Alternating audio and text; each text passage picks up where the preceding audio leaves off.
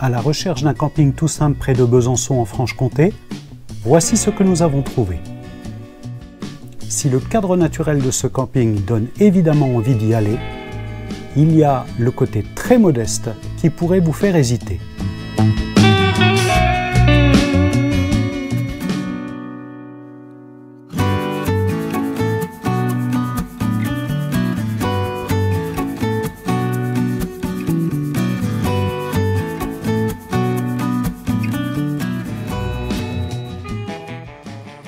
Salut les voyageurs Bienvenue dans ce nouveau périple qui nous mènera en Aveyron, dans le Lot, dans le Périgord, pour finir au bord de l'Atlantique, en Charente-Maritime. Nous en sommes ici à la toute première étape, qui après un saut de puce pour venir de Suisse, nous a fait nous arrêter à Pont-les-Moulins, ce qui nous a permis de reprendre en main notre attelage, désormais composé d'une remorque qui transporte la moto au lieu du scooter. La Franche-Comté se trouve à l'est de la France et longe une grande partie de la frontière avec la Suisse. Cet épisode se déroule dans le département du Doubs, pas bien loin de Besançon. Plus précisément, c'est à l'est de Besançon que nous trouvons Pont-les-Moulins, petit village d'environ 200 habitants. Un méandre du Cusansin traverse Pont-les-Moulins et c'est précisément le long de cette rivière que s'articule le camping que nous allons visiter. Avant d'entrer dans les choses sérieuses, rappelons-nous simplement où se trouve ce tout petit village en France.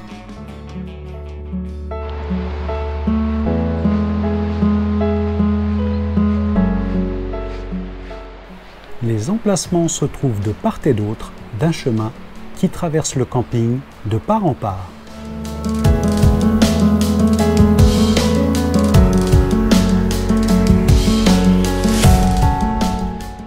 On peut globalement compter 120 mètres carrés par emplacement, ce qui est bien. Ils sont délimités par des petites haies végétales, mais il ne faut pas ici s'imaginer être séparés et cachés des voisins par ces grandes haies.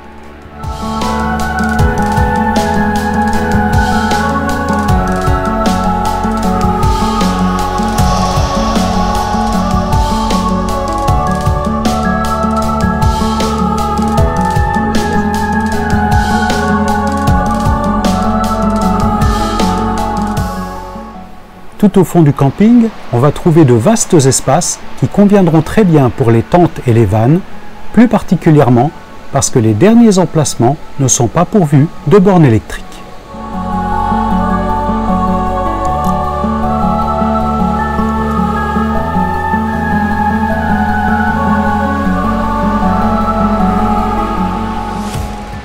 En parlant d'électricité, il faut savoir que l'ampérage est limité, ce n'est pas un problème pendant la période d'été, mais surtout que les prises sont de type française, pas euro. Donc notamment pour les amis suisses, n'oubliez pas d'emporter vos adaptateurs.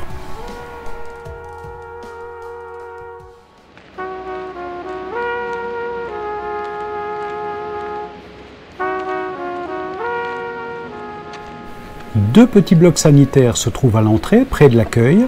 Ils ressemblent à des petits chalets et présentent une toiture semi-transparente qui est bien pratique. On doit ici aborder l'aspect le plus modeste de ce camping, effectivement les sanitaires, puisque c'est modeste, voire vétuste, et pour certaines, certains d'entre vous, peut-être que c'est bloquant dans le choix d'un camping, mais à partir du moment où, comme nous l'avons constaté, tout est parfaitement entretenu et propre, alors ce n'est pas du tout un problème pour nous.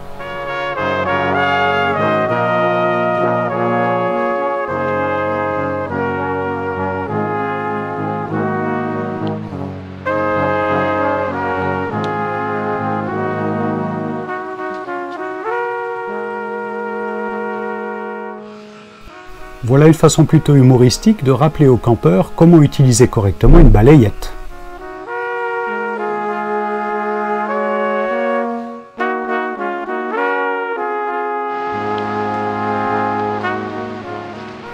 L'entrée du camping est bien signalée et très facile d'accès, même avec des camping-cars de gros gabarits.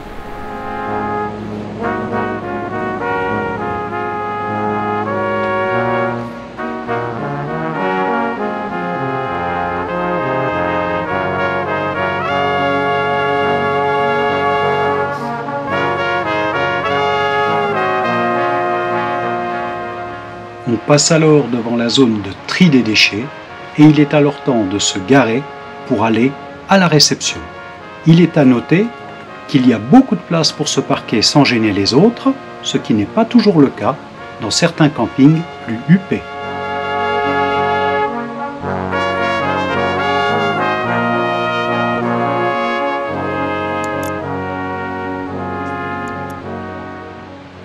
Le petit bureau de l'accueil se trouve au fond et il est à noter que le patron a pris soin de nous accompagner sur l'emplacement pour placer deux planches en bois sous les roues de l'essieu arrière afin de nous éviter de nous embourber en cas de pluie.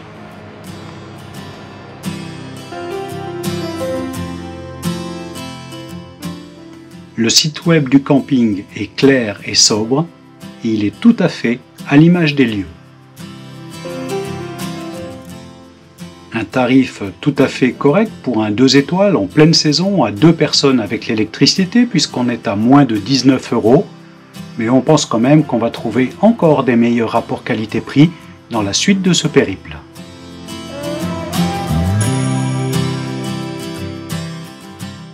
Ah au fait, n'oubliez pas d'avoir de l'argent liquide sur vous parce que ce camping n'accepte pas les cartes bancaires.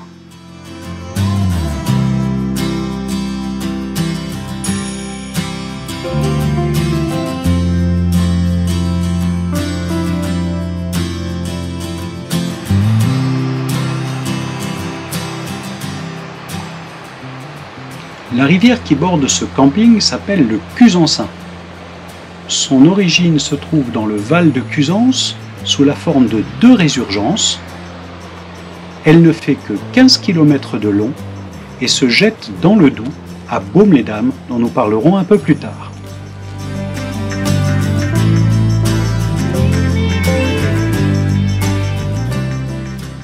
La moitié des emplacements du camping se trouve en bordure du Cusansin et il est à noter qu'on peut tout à fait s'y baigner.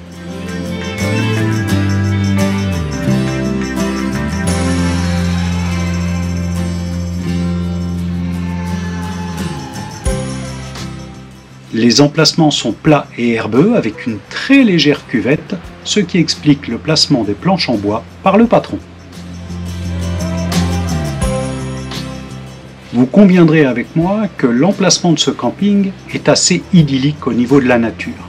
Mais il comprend un gros bémol. Après que je vous ai expliqué de quoi il s'agit, eh bien vous conviendrez si cela vous gêne véritablement ou pas, et cela va dépendre de votre type de séjour. Comme expliqué en début d'épisode, la boucle du Cusansin traverse Pont-les-Moulins et le camping en bénéficie pleinement. Et parallèlement à cette rivière, de l'autre côté du camping, on va retrouver une route très passante avec pas mal de camions qui malheureusement bordent également ce camping. Sachant que vers 18-19 heures, le trafic baisse énormément sur cette route, eh bien je vous laisse imaginer si cela est gérable dans votre type de séjour au camping. À l'occasion de nos deux nuitées au camping, cela ne nous a pas gênés puisque la journée nous étions beaucoup en déplacement pour visiter et au retour en fin d'après-midi, début de soirée, tout était revenu au calme. Par contre, j'imagine bien que pour quelqu'un qui a envie de passer du temps et se reposer dans un camping calme une bonne partie de la journée, plus particulièrement en tente qui a une isolation phonique quasi nulle, ça doit poser un problème. À part le Val de Cusance et sa chouette auberge des Trois Ponts que nous vous conseillons pour manger un morceau, il y a une petite ville incontournable, c'est Baume-les-Dames, avec plein de balades autour et tous les commerces pour faire vos achats lors du séjour. À peine plus loin, la ville de Besançon et sa splendide vieille ville nichée au cœur d'une boucle du Doubs.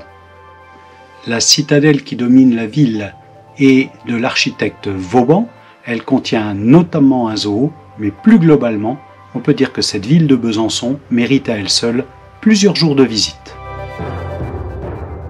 Pas bien loin non plus la petite euh, cité de caractère d'Ornans, avec un fort patrimoine culturel, notamment avec son musée courbé, plein d'activités possibles comme du kayak, de la via ferrata, et vous trouverez un épisode concernant l'aire de camping-car d'Ornans ici.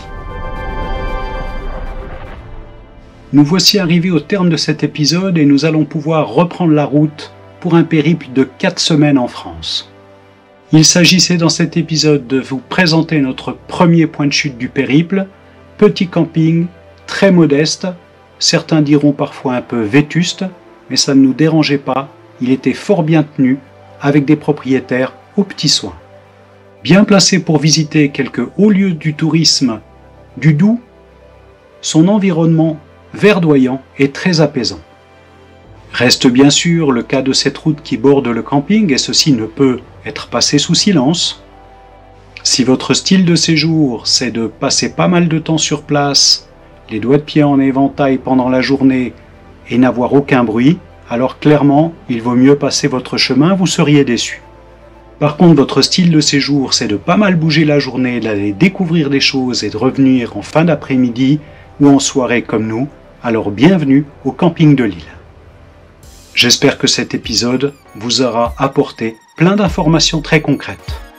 A bientôt donc pour un prochain épisode qui nous emmènera sur les routes de l'Aveyron. Est-il encore vraiment important de préciser que ton abonnement est extrêmement important pour notre petite chaîne? Si des épisodes très structurés comme celui-ci pour découvrir des campings, des balades, des tutos de conduite ou encore des tutos sur la législation te plaisent, alors abonne-toi, c'est la meilleure façon d'être au courant dès que nous sortons un nouvel épisode. Au plaisir de bientôt vous retrouver.